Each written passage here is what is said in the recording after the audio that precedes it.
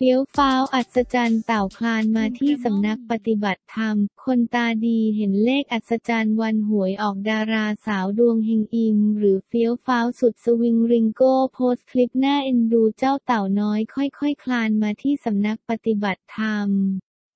เจ้าตัวเห็นเต่าหิวโหยเลยให้อาหารก่อนนำไปปล่อย แต่ไม่กี่วันต่อมาเจ้าเต่าน้อยก็กลับมาที่เดิมสำนักปฏิบัติธรรมอีก สร้างความอัศจรรย์จึงเลี้ยงไว้บริเวณที่กรวดน้ำเพื่อให้ฟังเสียงสวดมนต์แผ่เมตตา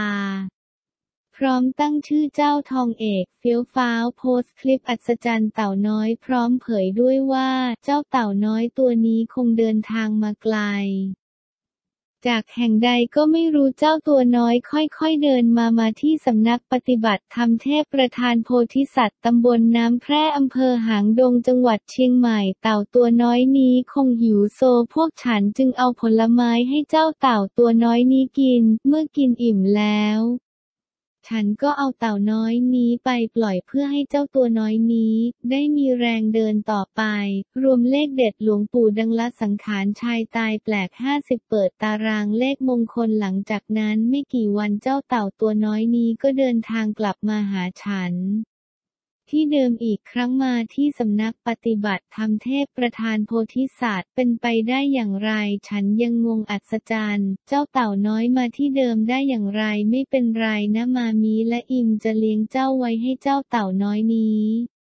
อยู่ใกล้บริเวณที่กรวดน้ำไว้ด้านหน้าขอองอ เครื่องหมายสี่เหลี่ยมพระแม่ธรณีเจ้าจะได้ คอยฟังเสียงสวดมนต์ คอยฟังเสียงแผ่เมตตาทุกๆวันจึงได้ตั้งชื่อเจ้าเต่าตัวน้อยนี้ชื่อว่าทองเอก โดยมีคนเข้ามาคอมเมนต์ร่วมอนุโมทนาที่เมตตาเจ้าเต่าน้อยคงหิวและได้มาอยู่ที่ปลอดภัยแล้ว บ้างก็มีคนตาดีเห็นเลขบนหลังเต่าด้วย หลายคนก็อวยพรให้เฟี้ยวฟ้าวเมตตาทองเอกของให้ถูกลอตเตอรี่วันนี้อนุโมทนาบุญด้วยนะคะคุณอิม สาธุที่รับเลี้ยงทองเอกไว้ เขารู้ว่ามาอยู่ตรงนี้เขาปลอดภัย ของเขาอิ่มด้วยบุญที่สัมพันธ์กันทำให้เขากลับมาที่เดิม เป็นบุญเจ้าทองเอกของวันนี้ถูกลอตเตอรี่แบบพี่อิมบ้างนะคะ เห็นยี่สิบบนหลังคาเป็นต้น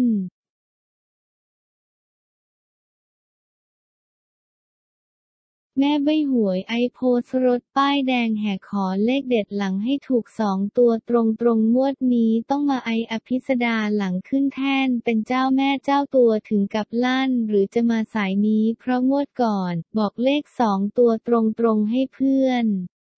งวดนี้โพสต์ภาพรถหรูป้ายแดงทำเอาแฟนหวยแห่ส่องทะเบียนขอตามงวดนี้ต้องมาโดยสาวเซ็กซี่ไออภิสดาก่อนหน้านี้ให้หวยตรงๆจนเจ้าตัวถึงกับโพสต์บอกว่าให้เปิดสำนักดีกว่าเมื่ออภิษให้หวยเพื่อน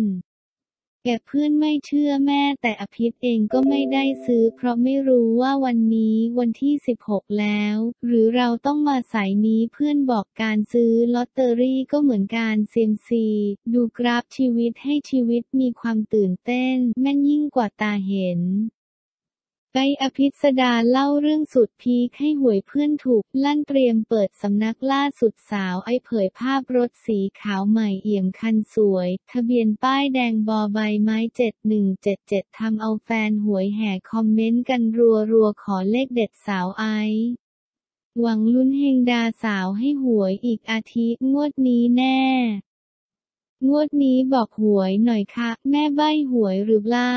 เลขทะเบียนต้องมาละค่ะ งวดนี้ 7,177 ต้องมาเป็นต้นดราม่าเดือด ชาวเน็ตจั่วพีเคซื้อซื้อภาพวาดแท้ทั้งไม่อยากขายลั่นควรคืนรูปดราม่าเดือดจนได้ ชาวเน็ตจวกพีเค คะยั้นคะยอขอซื้อภาพวาดสีน้ำมันของแพทพาวเวอร์แพททั้งไม่อยากขายลั่นควรคืนรูป เพราะเป็นคุณค่าทางจิตใจของเจ้าของงานเข้าพิธีกรหนุ่มพีเคปิยวัฒน์เข็มเพชรอีกแล้ว เมื่อเจ้าตัวจอดดราม่าเดือดสนั่นโซเชียล ในเทปที่แพทพาวเวอร์ แพทอดีตนักร้องหนุ่มชื่อดังในยุค 90 ที่เพิ่งพ้นโทษคดียาเสพติดหลังจากติดคุกนานถึง 16 ปี 8 เดือน มาพูดคุยถึงชีวิตใหม่หลังจากพ้นโทษผ่านรายการคุยแซบโชว์อ่านข่าวแพทปรับตัวไม่ได้มาแรกอึ้งโลกยุคใหม่ เล่านาทีช็อกนักร้องดังพัวพันยา อ่านข่าวก๊อฟเบนจพลควักเงินซื้อภาพวาดฝีมือแพทพาวเวอร์แพท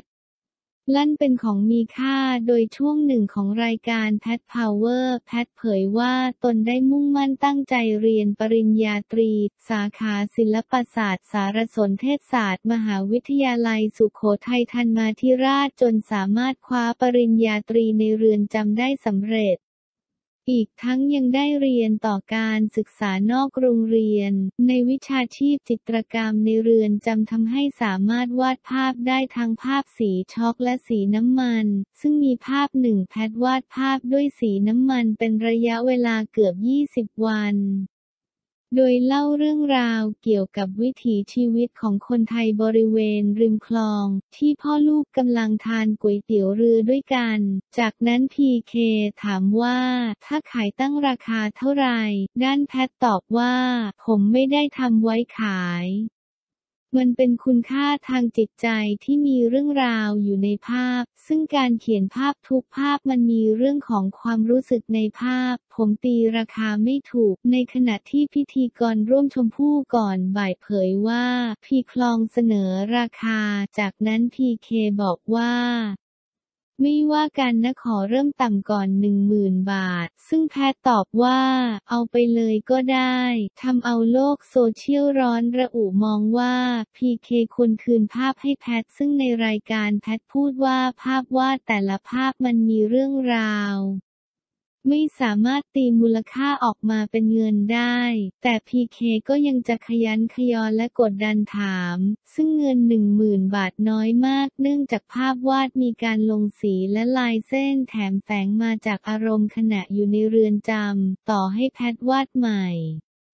มันก็คงไม่เหมือนอย่างเดิมอีกทั้งตลอดการสัมภาษณ์พีเคไม่ควรใช้คำว่า คุกสัมภาษณ์แขกรับเชิญ เพราะดูไม่สุภาพขนาดแพทใช้คำว่าเรือนจำตลอดการสัมภาษณ์เลยในขณะที่อีกฝ่ายมองว่าพีเค ต้องการช่วยอุดหนุนผลงานของแพท เพราะเขาเพิ่งออกมาสู่โลกภายนอกยังไม่มีรายได้ ซึ่งการที่พีเคตั้งราคาต่ำสุด 10,000 บาท แต่แพทก็ตัดสินใจขายในราคานี้ส่วนการให้สัมภาษณ์ของพีเคนั้นเขาพยายามอยากให้ทุกคนที่คุยรู้สึกผ่อนคลายและเป็นกันเอง ดูเป็นการพูดคุยแบบพี่เป็นน้องกัน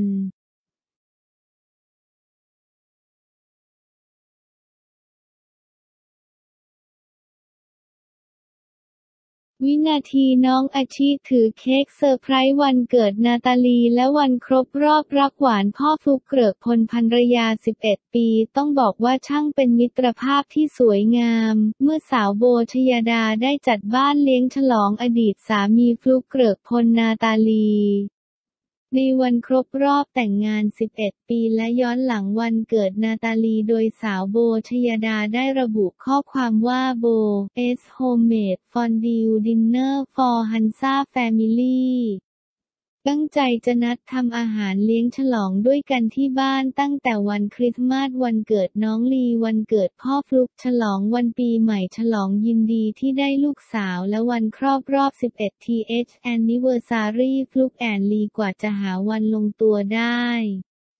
ขอเลี้ยงแสดงความยินดีรวบยอดเลยนะคะ ขอให้ทุกคนมีความสุขมากมากรักรักรักรักและสัญญาว่าจะดูแลกันให้ดีแบบนี้ตลอดไปค่ะ happy together ฮันซ่า family บน family โบชายาด้าในขณะที่ทางด้านสาวนาตาลี ก็ได้ออกมาโพสต์ซึ่งขอบคุณโบชญาดาหลังจัดบ้านหรูเลี้ยงฉลองรัก 11 ปีฟลุกเกริกพลย้อนหลังวันเกิดว่าฟอนดิวไนท์แตงโทพีโบพีแบงค์นะคะเปิดบ้านจัดบ้านสวยมากสีชมพูต้อนรับเบบี้ทั้งวันเกิดนิวเยียร์ ย้อนหลังด้วยค่า Happy New Year to you all กะฮันซาฟามิลี่แฮปปี้อีกทั้งงานนี้อีกความน่ารักที่พูดถึงในโซเชียลเมื่อ น้องอาชิถือเค้กเซอร์ไพรส์วันเกิดนาตาลีและวันครบรอบรักหวานพ่อฟลุกเกริกพล 11 ปี จะน่ารักขนาดไหนเราไปชมพร้อมกันเลยค่ะ